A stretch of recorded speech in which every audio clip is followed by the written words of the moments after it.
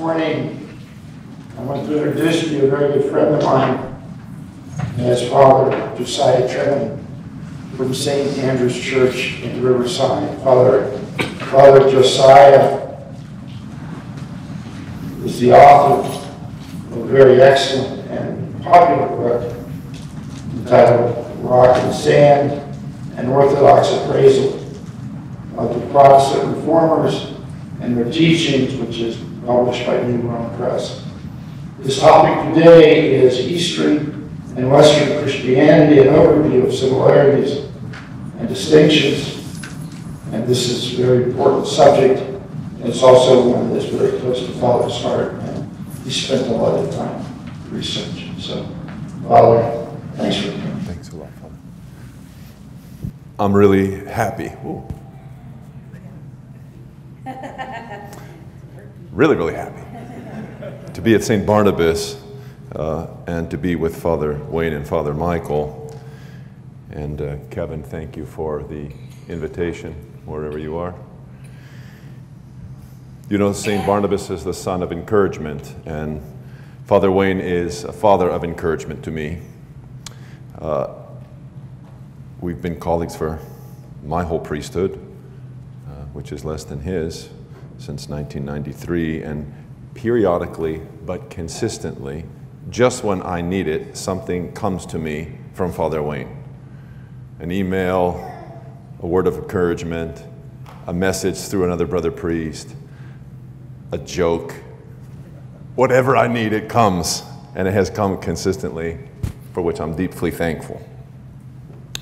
I also like coming to St. Barnabas because I like to know where my young people like to go to church. St. Andrew kids are constantly sneaking down to St. Barnabas uh, to meet the other young people because the average age at your church is about 12 and a half. There are so many young people here, which uh, presents a beautiful hope for the advance of Orthodox Christianity in Orange County. May God grant that.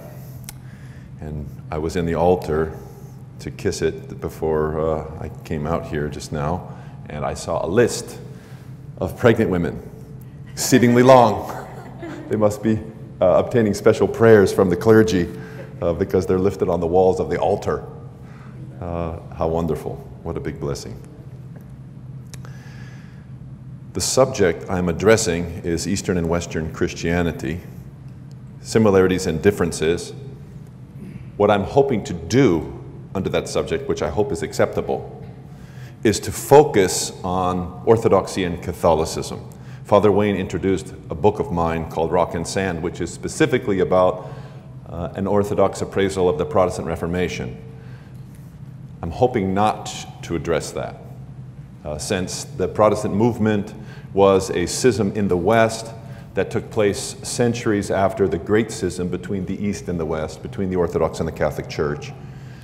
So, what I'm hoping to discuss is our relationship to Roman Catholicism and what the similarities and differences are between Orthodoxy and Catholicism. If you want to, at the end, I hear we're going to have questions and answers. If you want to ask me questions about Protestantism, please feel free to do that. And if you're particularly interested in that subject, read the book. Read the book. Let me talk uh, initially about the Great Schism and why the Great Schism is the greatest sorrow, uh, the greatest sorrow in the history of the church. 2,000 years. Now, I'm not meaning in any way to play down um, the rise of Islam, which is the greatest single historical development in the history of Christianity that has affected us. I'm not suggesting to replace that with the Great Schism. The Great Schism was an internal affair, a family affair, a horrible, frightful, tear causing divorce. The worst kind. The rise of Islam was an external affair, something that came upon us and which is still affecting us 14 centuries later. Nothing has affected the, the, growth of the Church of Christ and its life in the world more than Islam, and nothing in the interior life of the Church has hurt us as badly as the Great Schism. That is the separation of the Patriarch of Rome from the other patriarchs of the East and the functional separation, at least for the late, last 800 years, between Orthodoxy and Catholicism. We often, just for pedagogical purposes, like to use that date, 1054, uh, as the date for the Great Schism. Just so you know, nobody believed that at the time. In 1054, no one in the West or in the East thought that that marked the Great Schism and that that was somehow, you know, the road that we shouldn't have crossed and that was the end. If we really had to pin a date, I think a much better date to solidify the, the sense of the Great Schism is the sack of Constantinople in 1204 during the Fourth Crusade. It was at that time when the Latin Crusaders got misdirected and they came into Constantinople and killed our bishops and priests and raped our nuns on our altars. That is when we said, you know what? I don't think we're one. That's when it really hit the people uh, on the bottom. And I don't mean to uh, demonize the Crusaders alone. Uh, we had done our fair share of slaughtering Latins just several decades before 1204. Hostility had, ri- had risen to uh, a great fever. So now, while maintaining uh, our Orthodox teaching about the church, which is that despite the Great Schism, the integrity of the oneness of the church has been preserved. Our teaching is that you can leave the church but you cannot break the church up. You cannot actually cause the church to no longer be one. The oneness of the church is an essential ecclesial characteristic. We confess it in the creed to this day.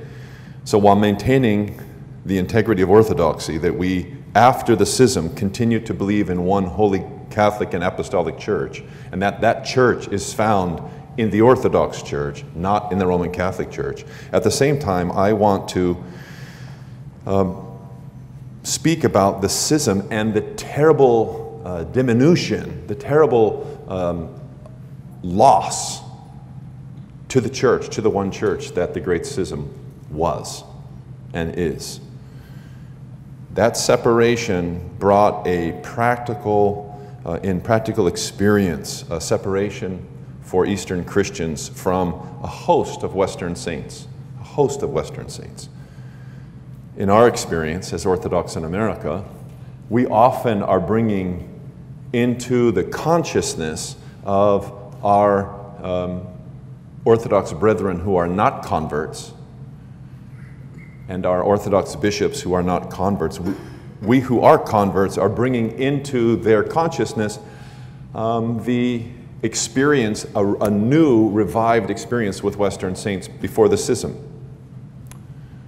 Many, many times I have um, interacted with parishioners or visitors who are, were converts and they were catechized and baptized by priests who were not converts and did not recognize their names as authentic Christian saint names.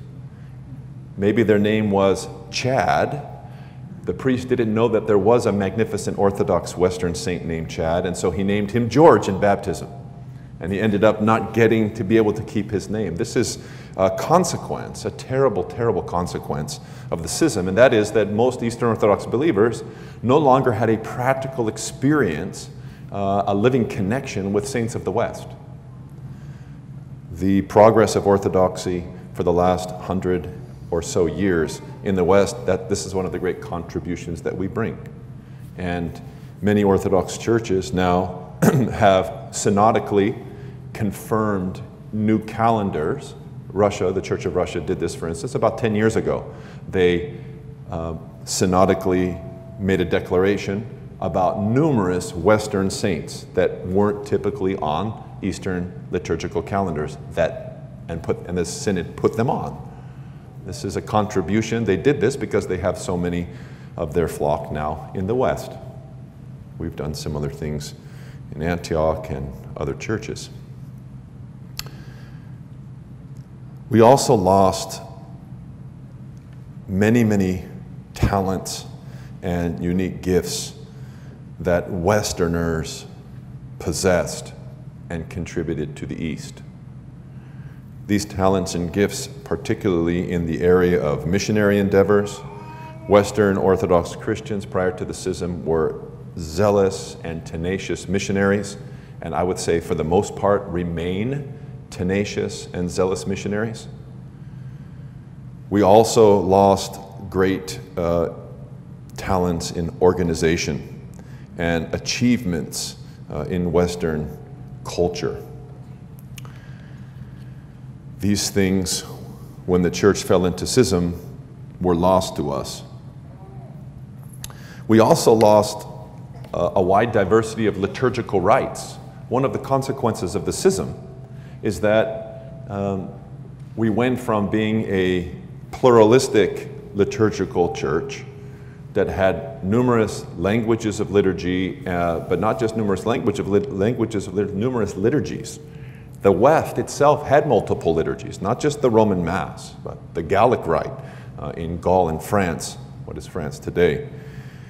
Um, we've had a fossilization, um, a diminution of what we consider to be the worship of the church.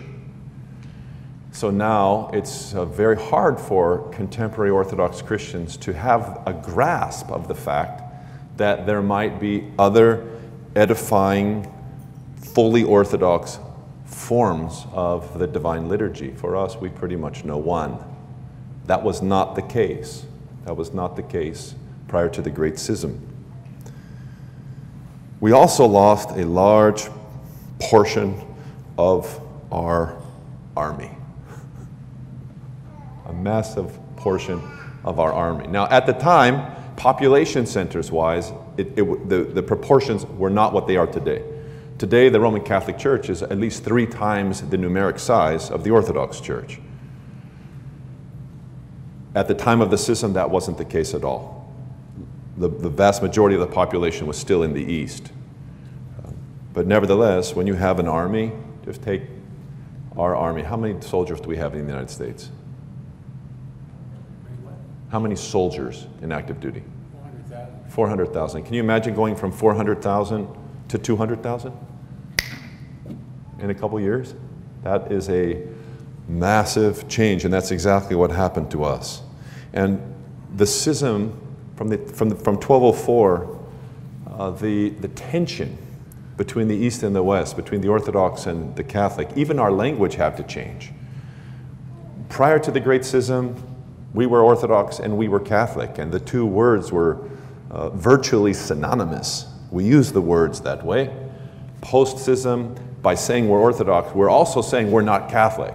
And when a Catholic says, I'm Catholic, he's saying, I'm not, I'm not Orthodox. And for about 700 years, at least from the time of the Fourth Crusade until the early part of the 20th century, the West took a very, very hard line against us. I know this is shocking, this is one of the realities of the post-schism Roman Catholic Church is that despite its grandiose structure of authority and its projection of being the church that doesn't change, that church changes so fast you can hardly keep up with it. It is altering its positions and dogmas constantly, constantly. One of the things I'm going to do now is read to you uh, a collection of what, what are called the Byzantine lists. Byzantine lists are uh, compilations from different church fathers and bishops and scholars of the errors of the Latins that led to the Great Schism and followed the Great Schism. It's a whole genre, the Byzantine lists. Um, but after I mention what's on them, I'll have to make this qualification. Those Byzantine lists are dealing with what's happening in the Latin church until about the 13th century. There have been so many more changes, and forgive me, heresies that have been foisted upon uh, the world by the Roman Catholic Church since the 13th century that we have to greatly expand the Byzantine lists. We have to make 21st century Byzantine lists. Now, saying all of that, things did change in the beginning of the 20th century. Uh, instead of the the typical Latin line for seven centuries that is found, for instance, in Thomas Aquinas' book that he wrote against the Greeks, which means against the Orthodox. Just like we would say against the Latins. in which he said any Christian, any person not in communion with the Bishop of Rome is damned. That would be us. Uh, that position was radically altered by the, by the Latins. Uh, first, tenuously at the beginning of the 20th century. It came into full force in the middle of the 20th century. I have a, I have a book, which is a collection of papal documents of the 20th century about the Eastern Church. And one after another, they grow progressively more positive to us until they really reached a climax in Pope John Paul II's Orientale Lumen, which is a, a papal encyclical he issued, which means the light of the East. He, this Polish, remember who John Paul II was, this Eastern man whose mother was Orthodox, two of whom, two of the three bishops who made him a bishop were from Orthodox families and were serving in the Eastern Rite as Catholic bishops. He had a great interest in Orthodoxy, and he was serving a Catholic church, which is even worse today than when he was serving it, in which the bishops did not obey him at all. He had virtually all of South America uh, as communists in, in clerical robes, in, in promoting liberation theology, which is just communism with the Bible kind of draped around it. And he recognized that he needed a solid backbone, and one of the way, places he found it was by nourishing, once again, a, an interest in us. And he made explicit affirmations about the legitimacy of orthodoxy. Not that we cared that much, but it was a, a nice uh, recalibration of Catholic thinking about us, in which he affirmed the integrity of the Orthodox Church, suggesting that even though we didn't really know it, we were Catholic. By the way, Vatican II also made that suggestion, which is rather insulting, about Protestants, that their baptism is really a Catholic baptism, they just don't know it. So all the Protestants are really Catholics. Very interesting theology. Uh, some, certainly not something they ever believed before that. Benedict XVI continued uh, John Paul II's view of the Orthodox East with some slight changes. One of the first things that Benedict XVI did when he became Pope was to slim down the titles for the Pope. And he removed immediately one title, and it made us sad because it was the one title we actually liked, which is called Patriarch of the West. He removed that. Didn't, doesn't fit well with uh, papal infallibility. It sounds too collegial, one of the patriarchs. We weren't, I wasn't suggesting that he was a contemporary patriarch of the West. He's not, or was not. Um, but that was, uh, if, we, if, we, if we were going to make an approach a rapprochement with the, with the Catholic Church, that would be the title we would want the new Pope who wants to be Orthodox to emphasize and downplay the rest. And then, of course, we have Pope Francis today. Forgive me, who knows what that man believes? I have absolutely no idea. Absolutely no idea. Uh, a tremendous sad period, I think, for the Catholic Church right now. Now, giving that as an orientation, I like, I'd like to say that as, I'm, as I emphasize now the similarities and differences between Orthodoxy and Catholicism, I want to say right up, right up front that it's very painful. It's very painful to today, not just back then. It's still painful to have separation from uh, our Catholic brethren, especially because in our world, where we're such a tiny minority, and where, when so many Orthodox are so pathetic and are so over assimilated to American culture that we aren't holding forth our orthodoxy at all. We're the wealthiest and the most educated of all Christian denominations in America, and we do the least for this country. We're an absolute pathetic shame in this area. And particularly in that context, we, we see that those who are really invested in holding up the Christian banner often are our Catholic brothers and sisters. Look in the field of education. Look in the field of medical care. How many hospitals? Look in the pro life movement. Look those who are, who are defending traditional marriage. Look those who are on the front line of defending religious liberty. Now, of course, there's 71 million Catholics in America, and there's about a million active Orthodox. So, I mean, we're 70 times that. But if you took the number of hospitals that the Catholics have and you divided them by 70, we're still not meeting that number. you take the number of colleges that, that the Catholics have and you divide it by 70, we're still, we Orthodox are still not near that number. We have a lot to learn. And therefore, I have personally as I'm sure you do, many, many friends that I consider mentors, teachers, and leaders in different aspects of my own ministry, especially in the areas that I've just mentioned, that are Catholic. And that I would really um, like to see become Orthodox Christians. Would really like that. And I know that they would be so delighted. One of my very close neighbors, lives two blocks from me, he's a dear friend I've known for 20 years. And he's a traditional Catholic. And so, therefore, even though he's in the diocese, the Roman Catholic Diocese of San Bernardino and Riverside, which has over 1.1 million people, over 1.1 million in a county, Riverside County is 2.7 million. The largest Catholic diocese in America is just to your west. Diocese of Los Angeles has four out of the 11 million people in LA County. Four million are registered with that diocese. And because of immigration, that number is increasing all the time.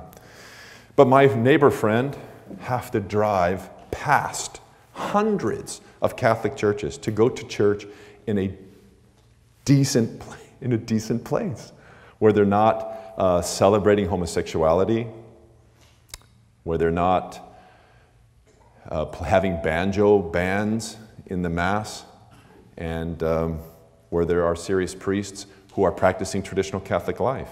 You know, the priest to parishioner ratio in the Catholic Diocese of San Bernardino, 5,000 to 1. 5,000 to 1. And many of those priests, I think more than half, are imports from the Philippines, from Southeast Asia, because they have such a leadership crisis, which has therefore not inspired young men. I mean, why would you want to become uh, a priest these days if the Catholic seminaries are bastions of homosexuality, which Pope Benedict XVI, chief archbishop for overseeing American seminaries, announced during his pontificate that they were? The result is that no you know, decent men don't want to become Catholic priests today. And those that do want to go into traditional orders, which, have, which means that they can only serve very few churches. And therefore, just to get a decent Mass, to have a normal life where, for instance, you hear where you can make your confession. Right? Catholics used to, very, in very recent memory, used to confess every Saturday. I have lots of older Catholic friends who that was their life growing up. Their parents took them on Saturday mornings and they got in line for, for, to make their confession. That's how it was. Today, most of the large Catholic churches in the diocese where I live have posted one hour of confession per week. That's how much time the priest, the overburdened priest, who's always in the hospitals, right, and, and can't do anything, uh, and even then it's not full because Catholics just don't confess anymore. They just don't do it. They're, they're not able, they're, they're so thoroughly Protestantized. They have voluntarily done to themselves what the Protestant reformers tried to make and the bishops have brought it in themselves. So, what I'm suggesting to you, what I'm going to go over with you now to describe the similarities and differences between Catholicism and Orthodoxy, uh, I'm doing this also with a deep sense of, of appreciation for Catholics who are struggling to be faithful Catholics in our culture and are leading the way and, and taking us Orthodox by the hands, often very graciously, and helping us go down uh, good paths, really good paths. And the more that we can collaborate with them and learn the lessons that we should already know, but that they're doing with regards to good social uh, work, good deeds in society, the quicker. I was very happy to see that last year was the first year ever in the history of Orthodoxy in America that on Roe v. Wade Day, on Sanctity of Life Sunday, um, the Assembly of Orthodox Bishops issued a collaborative pro life statement with the head of the United States Conference of Catholic Bishops and the head of their pro life committee. So, our Archbishop Demetrius, the chair of the Assembly of Orthodox Bishops in America, co signed with Cardinal Kurtz, and our um, head of our uh, Church and Society Committee, which oversees the pro life ministry of the church, signed together with Cardinal Dolan of New York City, who, who oversees the Catholic pro life cause. This kind of cooperation uh, to save the life of the unborn, this is something that we only can benefit from as Orthodox. We can only benefit by learning to, uh, from our Catholic brethren these kinds of things. So remember, when I, when I read you these lists, um, remember that I'm saying all of this uh, positive too about our Catholic brethren and, and how I think we should relate to them. I should tell you that this, um, this tension, this change of the Catholic mind towards us, that has taken place in the 20th century and that offsets seven centuries of rather aggressive Catholic proselytization of the East. Uh, I mean, it was very, in very recent memory, many of our own people, many of our Antiochian people, were so proselytized by Catholics that the Pope would come and build a school in an Orthodox village in the Middle East with absolutely no Catholic population. And he would open it and he would say, Tuition is free to all the Orthodox children as long as you commemorate me, i.e., as long as you become Catholic. And many did. We, in many of our towns and villages in Lebanon and Syria today, on one side of the street, there's the Orthodox Church, and literally across the street is the Melkite Church, which looks like our church, does the same liturgy in the same language as our church. What's the difference? At that one point in the liturgy where the priest says, Among the first, be mindful, O Lord, of our metropolitan so and so, they say, Of Pope so and so, which makes them functionally, no matter what they look like, smell like, and act like, if you are in communion with the Pope, you are a Catholic. This happened uh, all over the Middle East, and not just in the Middle East. This approach, this aggressive proselytization. But now we see this, this new uh, attitude developing, especially in the last 50 years. And I'll tell you, next year uh, is going to be a very interesting year on this subject because next year will be the 100th anniversary of the so called Fatima revelations. Um, the Fatima revelations took place in 1917 when three sisters uh, apparently saw the Virgin Mary, and she gave to these sisters detailed prophecies. One of the prophecies was that Russia, which was just beginning its crucifixion at the hands of the communists, this is, think, this is Bolshevik Revolution year, 1917. She prophesied that in the future, after great martyrdom and desolation, that the Russians would be converted in mass. Now, Catholics have traditionally interpreted that Fatima prophecy as Russia becoming Catholic. Dream on. Dream on. But anyway, that's how they've understood it. That's, how, that's what they've thought about it. And I, I remember uh, as a young priest, I, I was uh, interacting with some really well formed, educated, older Catholic men, very much in the know. And they were absolutely the great Fatima devotees. And they basically told me, look, you guys are all going to be Catholic soon. Fatima, Our Lady at Fatima told us this. Russia's going to lead the way. I had a very interesting thing happen on this subject. Two years ago, I, I made the acquaintance and have since uh, had a, a, number of occasions to be with this person more, uh, to make the acquaintance of the titular king of Portugal, who is named Dom Duarte Pio, who is a devout Catholic and is involved in the pro-family, international pro-family movement. And uh, he and his lovely wife, I, have been able to have three or four dinners with over the last uh, couple years. And he wanted to host uh, the large International World Congress of Families in Portugal next year, 2017, especially because of the number of pilgrims that were going to be in Portugal because of Fatima, because they would, they would be making pilgrimage there for the 100th anniversary. And I said, speaking of that, speaking of that, this was uh, after a glass of wine and a long dinner. Uh, I decided I was going to go for it, and I said, look, I said, this Fatima revelation, Russia is going to be converted. I said, Forgive me. Do you really think that's what the Virgin Mary, if the Virgin Mary did this, came and appeared to these, these girls, do you really think that's what she meant? I said, because we Orthodox think that's utter, total nonsense. And he said to me, he said, Oh, he has a very high voice. He said, Oh, Father, I know something about this. He goes, I am personally acquainted with the youngest of the daughters and I have corresponded with her on many occasions. I think she just died within this last year. He said, I wrote her that very question. I said, I said, tell me what you said. He said, I wrote her a letter and I said, did the Virgin Mary, in your understanding, mean that Russia would become Roman Catholic? Or that Russia would return to her Orthodox Christianity. And the daughter, according to Dom Pio, wrote back and said, It's my understanding that the Virgin Mary meant that Russia would return to its Orthodox Christianity. Very interesting.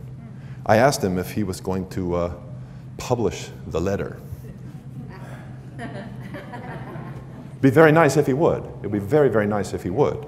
Uh, and I am not going to forget that I heard that story at all. So things are changing. Things are changing. Our unity has been lost, but our interactions, and especially on the Latin side, there have been lots of alterations in their opinion of us. What are the issues that stand between the Orthodox Church and the Roman Catholic Church? What are these Byzantine lists that were drawn up as the East and the West progressively became more estranged, culturally and linguistically initially?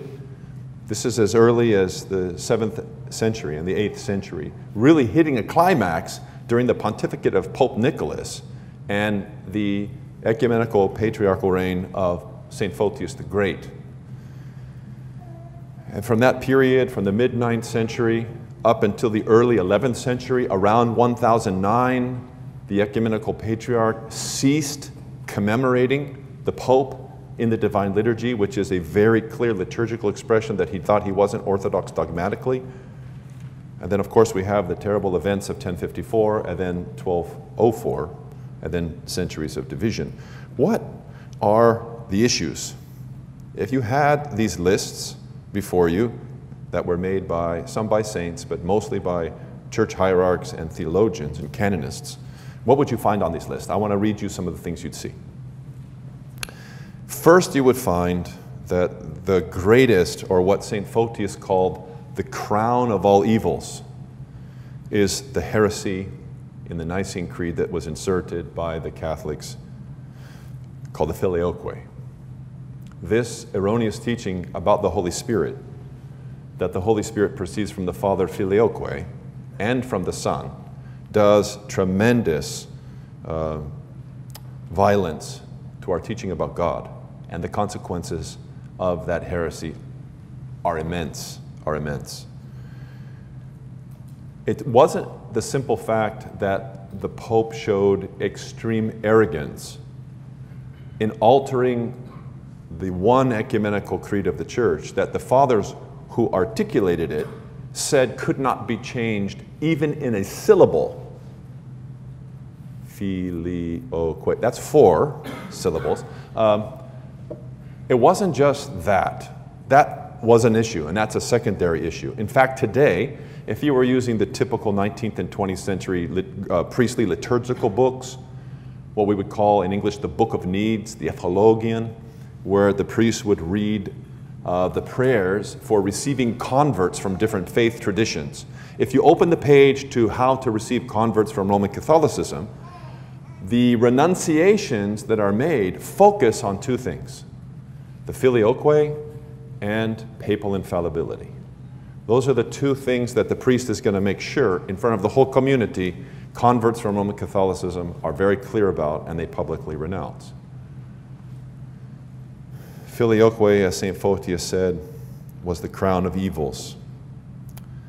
It might have been raised as early as 767, certainly in the Frankish kingdom of Charlemagne and following the Filioque was um, posited. By the time of St. Photius, councils were held in Constantinople condemning it as a heresy even though so many Orthodox bishops and priests today do not have the courage or the conviction to maintain that filioque is a heresy. This is so consistent. 11 centuries it's been in our synodicon, in our text that we read on the Sunday of Orthodoxy when we anathematize heretics and the bishops that pro promoted these heresies, whom St. Photius called bishops of darkness. Photius said any bishop who teaches the filioque is a bishop of darkness. and the filioque is a crown of evil. Filioque's chief on the list. And by the way, just as a sidelight, if you're interested to know what's so serious about the filioque, why make such a big deal about one Latin word in the Creed, I would refer you to about a 20 page section in my book, Rock and Sand. It's in there because, sadly, though the Protestants were overthrowing many of the papal in innovations, the, the worst of all, they completely accepted. The Protestant reformers, almost universally, the Mennonites, there was one Mennonite creed that rejected the filioque. The rest, Protestant confessions accepted the filioque, tragically. But if you look at my book under that, uh, the section of Protestant heresies in the back, which I would mention comes after a chapter on the Protestant virtues, let's be fair, let's be fair. That section covers the filioque and why it's such a big deal and how it affects our practice and our whole experience of Christian life. Filioque is in the top of the list. Following that is the concept of universal primacy, the thought that has developed in the West, especially in Rome, that the Bishop of Rome is not just Peter's successor, but Peter's personal presence on the earth. It couldn't have helped that when Pope Leo I, the great saint, had his tome read at the Fourth Council in Chalcedon, all of those who were listening said, Peter has spoken through Leo. Forgive me, but I think that went to the Pope's heads because that became fundamental Catholic doctrine that the Pope no longer uh, was just the successor of Peter, but his personal presence, maintaining his authority. And therefore, over the second half of the first millennium, there grew um, ideas in the papacy that the Pope didn't have just jurisdiction over his area, but that he also could meddle in the affairs of the Eastern patriarchs in Antioch and Constantinople, Alexandria, Jerusalem, and elsewhere. Not just as a last court of appeal, which is traditional, not just maintaining a primacy of honor, but asserting a universal jurisdiction, which has grown to such a height that today, in the Catholic Church, no bishop in any part of the Catholic world becomes a bishop except by the Pope's choice. The, that, that centrality of uh, authority is something totally foreign to the Orthodox world. Uh, the idea that one bishop would determine all the bishops in all the rest of the world, if just, uh, forgive me, absolutely foul. Absolutely foul to the Orthodox mind. So this universal primacy is next.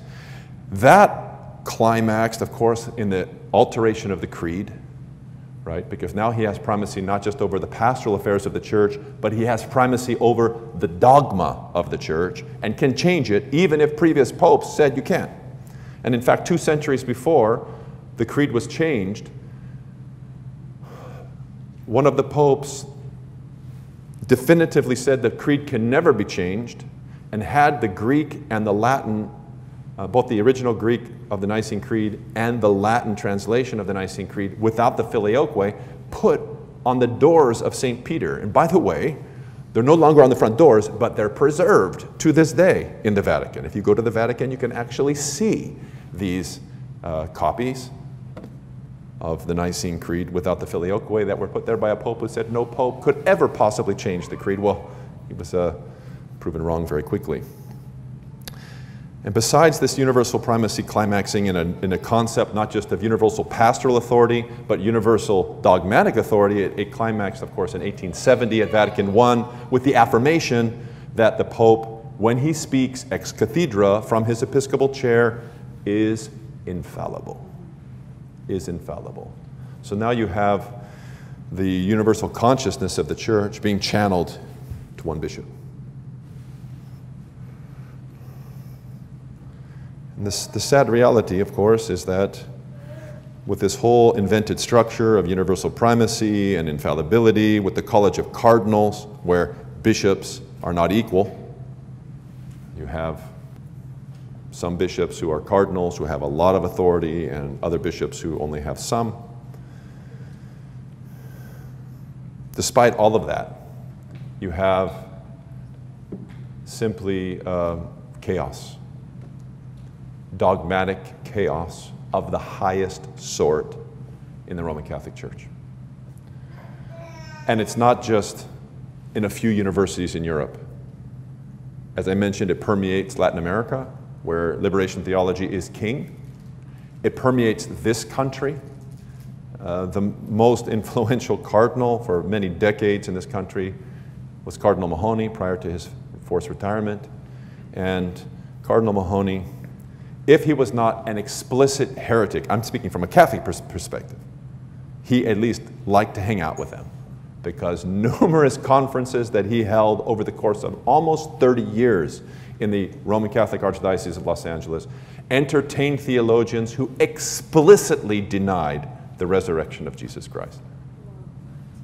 Oh, explicitly. I have a letter, one of my real heroes, pro life heroes, who died maybe 10 years ago, was a Catholic priest who started uh, Human Life International, HLI, one of the great pro life arms of the Catholic Church in America. His name is uh, Father Paul Marx, an incredible priest, just an incredible priest. Came from the Midwest and led the, has led the pro life cause. I have a copy of a personal letter. He was banned from the Los Angeles Archdiocese. He had no permission to serve Mass anywhere in the, in the Catholic Archdiocese of Los Angeles. Um, and I was inquiring with one of my friends who was close friends with Father Paul about why this was the case, and he gave me a copy, a 50 page personal letter between Father Paul and Cardinal Mahony, in which Father Paul acknowledged being banned and then told them, Look, you better watch out because you're going to go to hell, my friend. You are a heretic. And then he lists in 50 pages all the conferences in which abortion was permitted, promoted, feminism, lesbianism. Cardinal Mahony established a center for uh, gay ministry and celebrated the Mass under gay pride banners. I mean, so far from Catholic life. So, and all of that, despite this um, structure that's supposed to keep everybody in line, didn't, it hasn't worked. It hasn't worked. As we continue down the list past the filioque, universal primacy, infallibility, we come to more dogmatic realities, like the teaching of the Catholic Church about what grace is, and, that, and the rejection of the teaching of the Fathers about the uncreated light. The result of teaching that grace is, is a substance of sort, different from God, you end up with a denial of the traditional Orthodox practice of hesychasm, or the use of pure prayer in which you can have communion with God directly and see the uncreated light. This is, of course, the, the drive of our leaders is to be with God and to have the experience of Mount Tabor in their life, to know Him and to commune with His light. And this is something explicitly denied by the Roman Catholic Church. Our hesychasts, including great saints like St. Gregory Palamas, are considered heretics by the Catholic Church today because they taught that we can commune not with God's essence, but with His divine energy, and that that divine energy, much as the heat and rays of the sun are different than the sun, but are also the sun, that divine energy is certainly God and His presence. How could our monastic tradition ever be reconciled with Catholic dogma as long as they maintain a teaching about created grace and a refutation of hesychasm? Of course, there are many soteriological issues that are on our lists.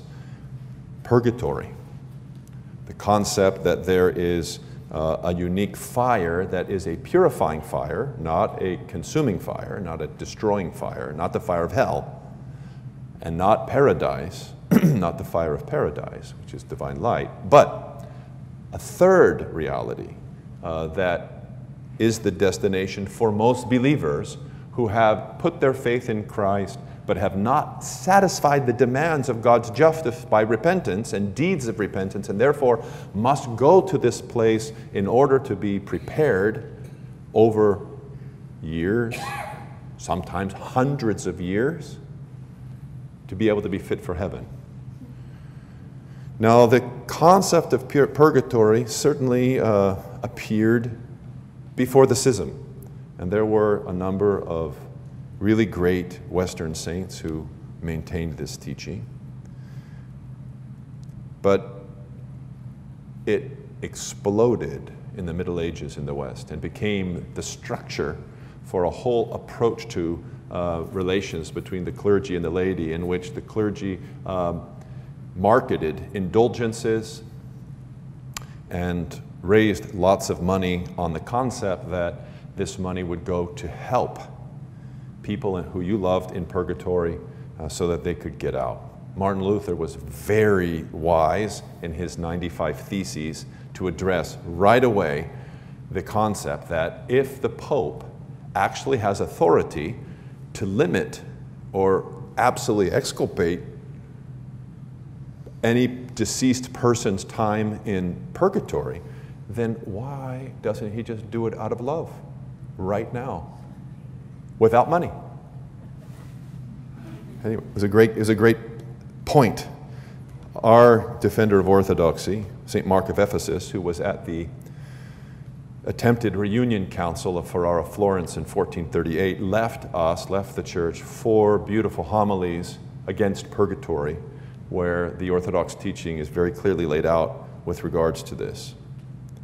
Now, I should also throw in here that the Protestant notion, which converts and even many Orthodox who just live in America and have been influenced by our worldly mentality, the concept that you die and bing, you're on a cloud and everything's wonderful is complete nonsense. It's as big non, as nonsense as purgatory is. We have 40 day memorials for a reason because the process of moving from this life to the next life is not instantaneous, nor is it easy unless you're the Virgin Mary. Uh, it's very challenging, and our prayers are very, very important. And the testimony of many saints who went through this, some of whom actually were sent back and gave us details about it, make it very, very clear uh, that this idea that the Protestants articulated in their confessions. I'm most familiar with the affirmation in the Westminster Confession of Faith in the middle of the 17th century, where the Calvinists, the, the, the Presbyterians of England, said that at death the soul doth immediately depart and rest with Christ. Immediately. Problem is that you'll search the New Testament for any reference to immediately about departing. departing. There's lots of references about wanting to depart to be with Christ, but the, how that process happens, the church has information about. That's not revealed to us uh, in the New Testament. So we have to be careful on the other side as well the Immaculate Conception, which was articulated by the Catholic Church that the Virgin Mary was conceived in a way uh, unlike the rest of us, and that she actually was free of original sin or ancestral sin. This is not a cause of uh, her holiness. We think that that's actually an insult because if the Virgin Mary was not dealing with the same inheritance of death and corruption and bentness that we all have as sinners, which we can't help but pass on to our progeny, which is why we bring them to baptism as children, so that they can be communicated with life.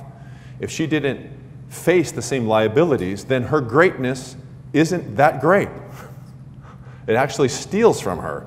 But if, in fact, as the church says, she was conceived, unlike her son, she was conceived the way that we have been conceived, and yet still was as pure and exceedingly holy as she was, this, this leads us to hymn her, to praise her, and to view her as a very tangible model for us.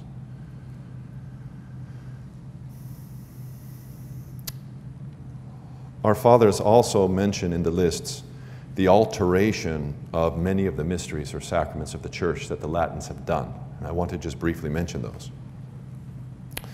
Every one of the sacraments of the church have been altered significantly by the Roman Catholic Church, mostly since the Great Schism, mostly post schism. I'll use just one practical example that which we take refuge in every day, all day long the sign of the cross. The sign of the cross is as ancient as the church. Some of our earliest testimonies uh, about its power come from the second century. Uh, St. Anthony, you know, who was born in 250, speaks about the sign of the cross being the refuge of every Christian and the greatest power against evil, causing devils literally to erupt on fire. The sign of the cross is very precious to us. And we know that the sign of the cross was shared commonly between the Orthodox and the Catholics. Uh, we know that all the way through the middle of the 13th century because we have a catechism. This is post schism. We have a catechism of Pope Innocent III in which he's teaching his people how to make the cross, and he says to make the cross like we make the cross, even specifying from the right to the left. Sometime after Pope Innocent III, the sign of the cross was changed.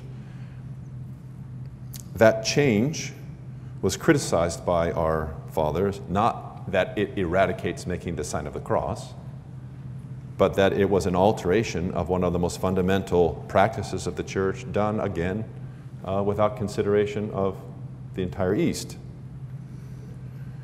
Baptism. Baptism has been changed both in its form and in its formula. So no longer, as is witnessed in the first millennium of the church, do the Latins baptize by trine, immersion, and immersion, as the apostles taught us to do baptizing in the name of the Father and of the Son and of the Holy Spirit. By the end of the first millennium, Catholics were baptizing with one immersion, which very much scared our bishops because that was an Arian practice. But in the Middle Ages, in the scholastic period, even single immersion dropped off from Catholic practice, which is almost universally not done today in the Catholic world, where baptisms are done by pouring, which is a negation of the very word baptizo itself, which means to immerse.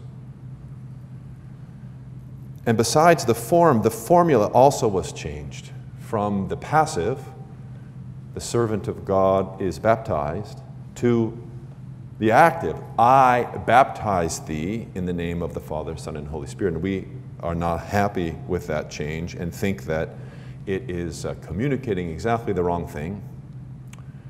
Um, placing the locus of the authority to baptize in the priest instead of the priest being the agent of the Holy Spirit to do that.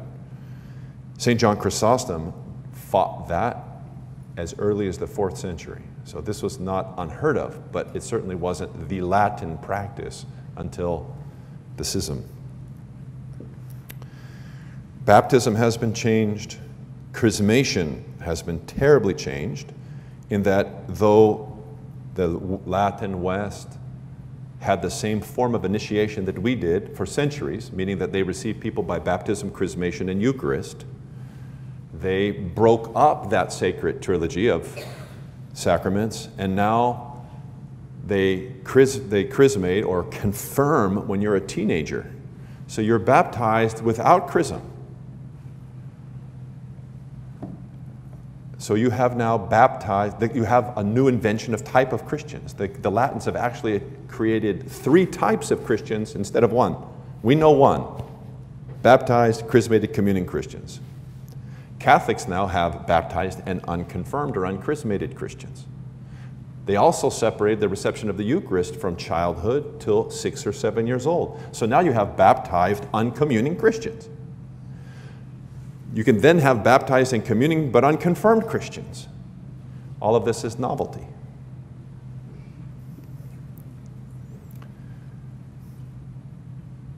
And it says, I think, exactly the wrong thing about communion for us. For Orthodox people, the idea of being uh, excommunicated just because you're young. Where's the fairness in that?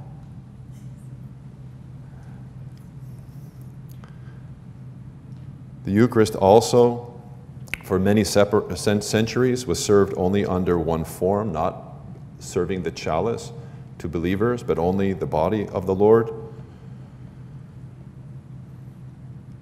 The lift also mentioned that the Latins began to use unleavened bread, which uh, is a very consistent complaint of the East against the West, that they, instead of using a risen loaf, a leavened loaf, which symbolizes the whole body of the church. Uh, they used unleavened bread, and therefore, serve multiple, they, they have nothing from which to fracture. They have one larger um, host that the priest fractures and serves himself.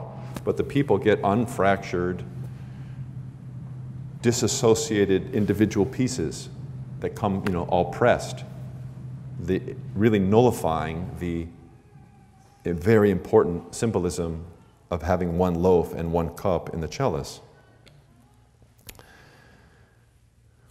And we could go on.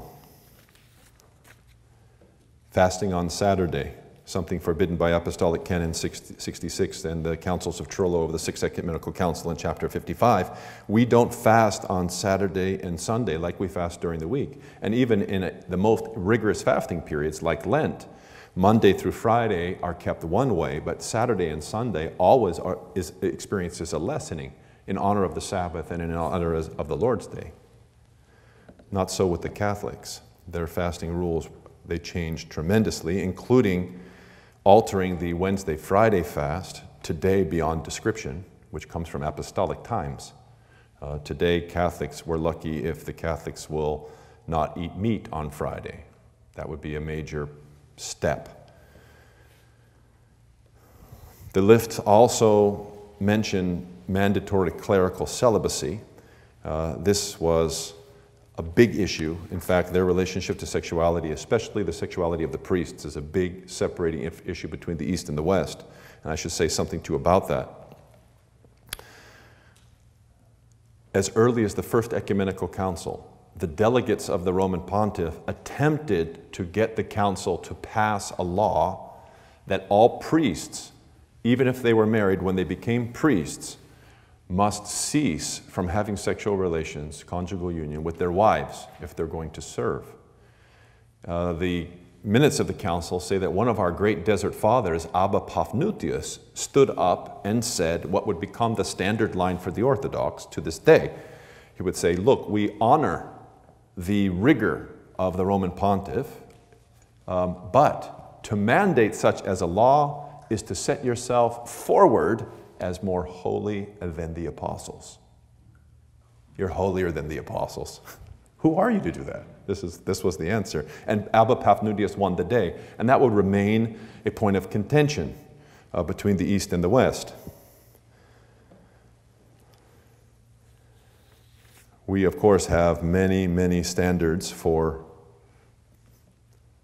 uh, special standards for priests in the, in the realms of holiness and especially with regards to sexuality. Many things we do that are totally irrelevant to you as lay people. But what we don't do uh, is invent a holier standard than St. Paul uh, and the other apostles. This is from Canon 13 of the Sixth Ecumenical Council. We say, Since we have learned that in the Church of the Romans it is regarded as tantamount to a canon that ordinands to the diaconate or priesthood must solemnly promise to have no further intercourse with their wives, continuing, however, in conformity with the ancient canon of apostolic rigorism and orderliness. So they're accepting the, the, the word rigorism, but they're calling it an apostolic rigorism, not a supra apostolic rigorism. Continuing the ancient canon of apostolic rigorism and orderliness, we desire that henceforth the lawful marriage ties of sacred men become stronger, not weaker, become stronger, and we are no wise dissolving their intercourse with their wives, nor depriving them of their mutual relationship and companionship when properly maintained in due season, so that if anyone is found worthy to be ordained a subdeacon or a deacon or a priest, let him no wise be prevented from being elevated to such a rank while cohabiting with a lawful wife. Nor must he be required at the time of ordination to refrain from lawful intercourse with his own wife, lest we be forced to be downright scornful of marriage, which was instituted by God and blessed by his presence, as attested by the unequivocal declaration of the gospel utterance. What therefore God hath joined together, let no man put asunder. And the apostles' teaching that marriage is honorable and the bed undefiled. And art thou bound to a wife? Seek not to be freed. We are cognizant, though, that those who met in Carthage this was a local Western council that the Ecumenical Council now is going to overrule. We are cognizant, though, that those who met in Carthage and made provisions of decency in the life of ministers declared that subdeacons and deacons and priests, busy in themselves as they do with the sacred mysteries, according to their rules, are obliged to practice temperance in connection with their helpmates, in order that we may likewise keep the injunction handed down through the apostles and continued from ancient times in force, well knowing that there is a proper season for everything, and especially for fasting and praying. For those who assist in the ceremonies of the sacrificial altar have to be temperate in all things at the time when they are handling holy things, so that they may be able to gain whatever they ask God for. If therefore anyone acting contrary to the apostolic canons require any person who is in sacred orders, any priest, we mean, or deacon or subdeacon, to abstain from intercourse and association with his lawful wife, let him be deposed from office. Likewise, if any priest or deacon expel his own wife on the pretext of reverence, let him be excommunicated, and if he persist, depose him. So this was an attempt to take the ruling of the local council of Carthage, which said priests who serve the Mass, priests who serve the liturgy, can't sleep with their wives anymore. What the Holy Fathers at the Ecumenical Council did was to take that and say the effort there was to establish decency and proper preparation for the serving of the sacraments, which does not require perpetual abstinence from conjugal union of married presbyters, but timely appropriate intercourse, which means that priests do not have relationships with their wives, do not have conjugal union when they're performing the sacraments, when they're preparing to perform a sacrament. A priest would never sleep with his wife the night before he served liturgy. It's just not consonant with the sobriety of fasting and prayer that you're trying to raise yourself to to be able to serve the sacrament. But it doesn't require that at other times you can't sleep with your wife. This is what the, the church is saying. Catholics don't believe that. But once again, the authoritative rule of the Pope and the practice of Catholic priests over time have been very, very far apart. If you know anything about Reformation history, most of the leading Catholic priests of the time, including the reformers, were living with women. They weren't even their wives.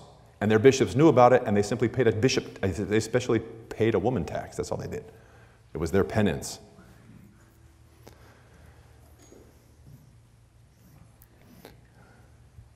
We accused them of eating unclean foods, especially uh, what we meant by that was foods with the blood in it or strangled things.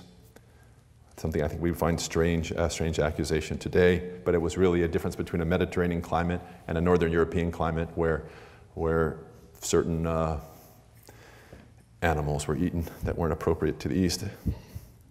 We, we criticized the West for allowing brothers and sisters in law to marry we had different laws of affinity. Their monks ate meat.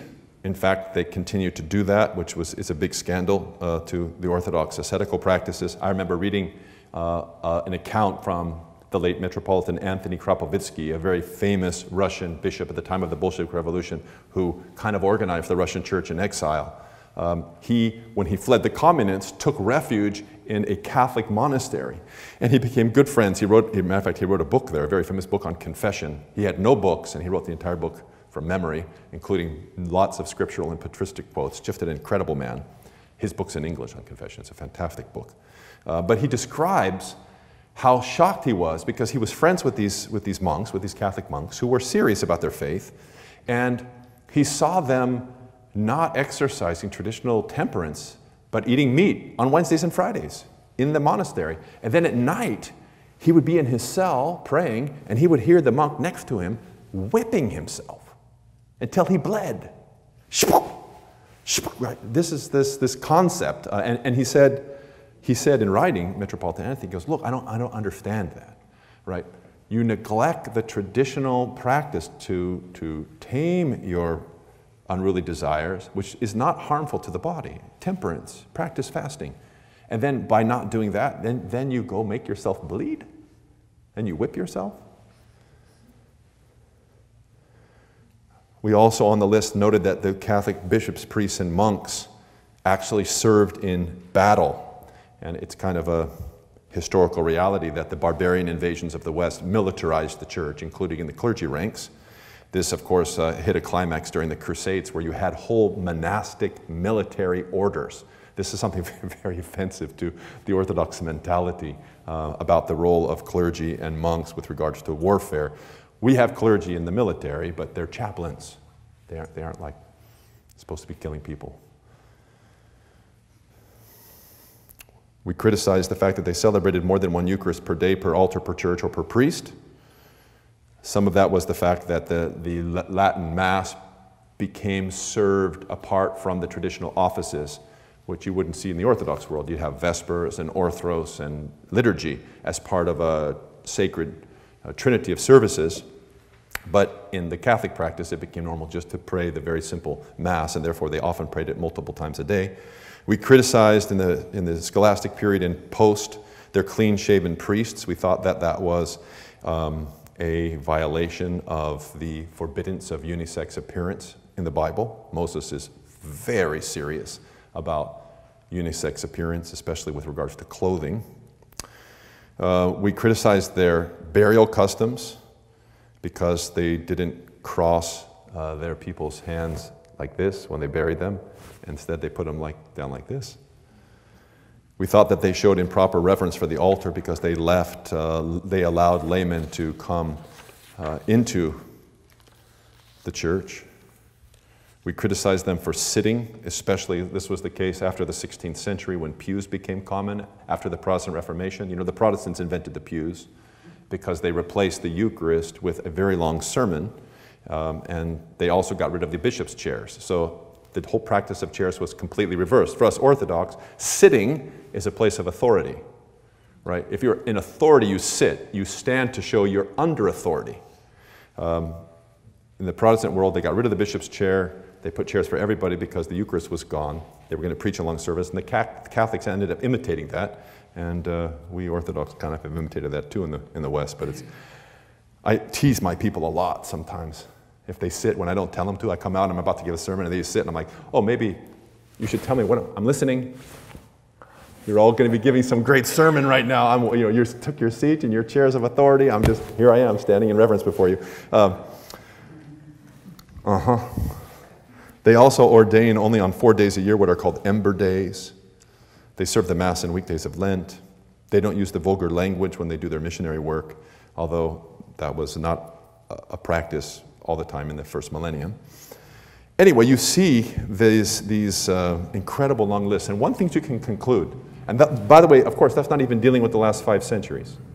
This isn't even dealing with what we've seen in the last century, or some of the things I was telling you about the decimation of Catholic practice today. But you see that these lists, they're kind of like, um, you would never find a list like this against the Jews or the Muslims. But this is kind of an inter-family squabble. This is, uh, it, even though the lists are strong and they have very many important things, the very fact that they exist show that we have a lot of history and we're really not happy about walking away from each other. We're really not happy about that. And we're going to have a little fight about it and we're going to fuss. Today, of course, as I mentioned, the list would be uh, very, very much longer. I'm a fan of a Catholic priest, scholar, uh, named Day, Thomas Day. And he wrote two really powerful books. One book is called um, Why Catholics Can't Sing. And it's his record of the overthrow of the sacred art of liturgical chant, Gregorian chant, which was as ancient in the West as our Byzantine chant and uh, classic old Russian chant, Slavic chant in the East which almost universally is gone today, except a few monasteries that sell CDs to support themselves because they have really great choirs. Um, he also wrote a book called Where Have You Gone, Michelangelo? And, and that book is about the overthrow of the classic sacred art of architecture. And just take as an example the monstrosity of the new Catholic Cathedral in Los Angeles. 189 million dollars. Now, you would think with that kind of change, they could really do something that would just cause the Catholic Church to explode in Los Angeles. They could just buy a block and build a heavenly building. They had a great church. They had a great cathedral. It wasn't big enough, but it was very beautiful. It's a classic basilica. I know because uh, uh I, was, I did a wedding this summer and the reception was at that church because it's been turned into a restaurant. They actually, the Catholics were going to sell it, and the Muslims were going to buy it. And a Catholic man said, No way. So a Catholic man went, put up the money, bought it from his own bishop, and turned it into a restaurant uh, called Vibiana.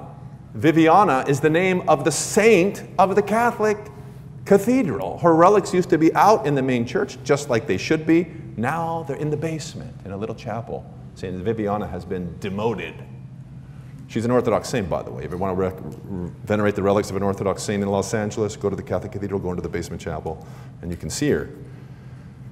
But there was an article written in the Latin Mass magazine about 10 years ago. I printed it out, kept it in my files. It's called Churches from Hell. and it had pictures, it had pictures of just one church at complete violation of the sacred principles of architecture, which communicate truth.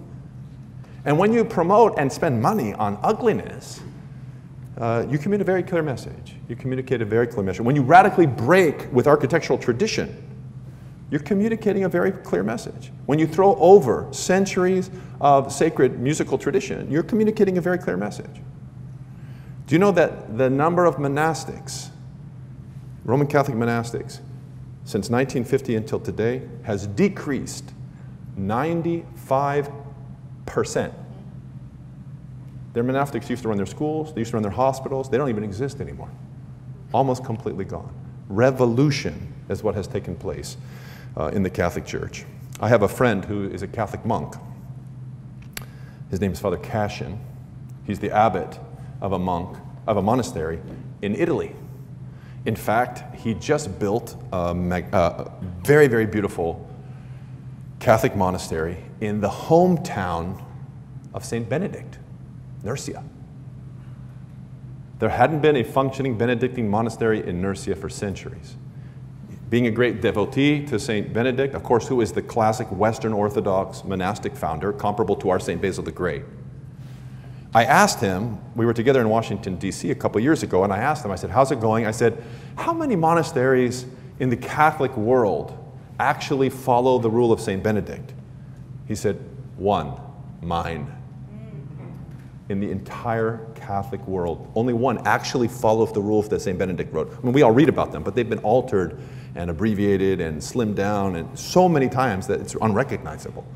And he went back to start again the real thing with real vigil and real fasting and the real, the real St. Benedict deal. But that is truly how difficult it is today in the Catholic world, which means that we have an even larger expanse to overcome in an effort for reunification. I've often thought, what if something did happen? What if, you know, Pope John Paul II many times read the Nicene Creed in public without the filioque? He did it, and he liked doing that. What if something happened where the popes would give up? Uh, the Catholic Archbishop of San Francisco is a friend of mine. His name is uh, Salvatore Cordileone, great man.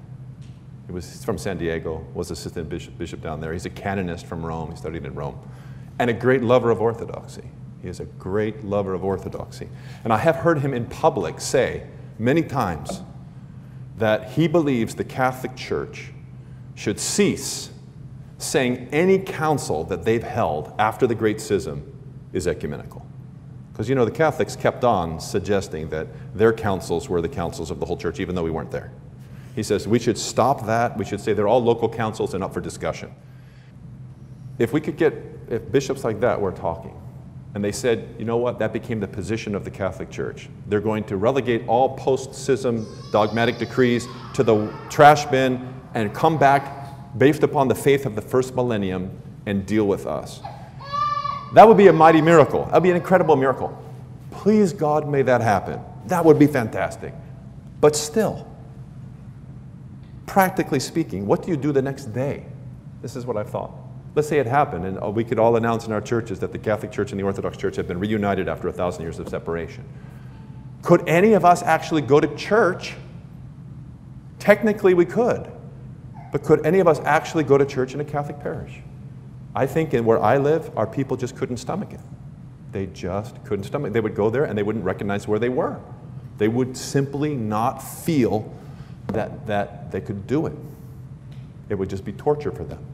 It would have to be not just a decree from the top, but a renovation, a reincorporation of traditional Orthodox Catholic life with regards to worship and prayer and all the things that we know of reverence in the church. May God bless uh, our interactions with the Catholics and make something, surprise us with something great, because it's a pretty challenging picture.